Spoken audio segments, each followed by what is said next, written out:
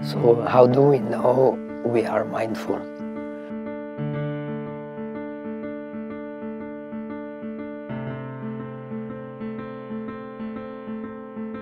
We know it because our mind becomes stable.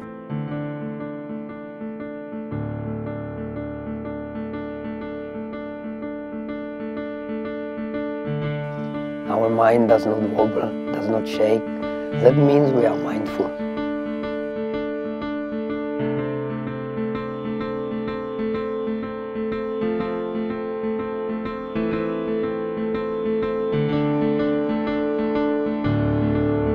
The function of mindfulness is not forgetting.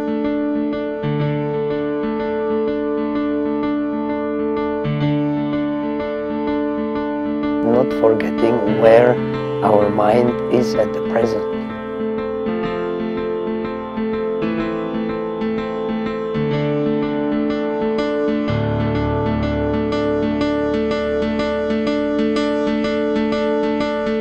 When we are focused, we become aware of many things.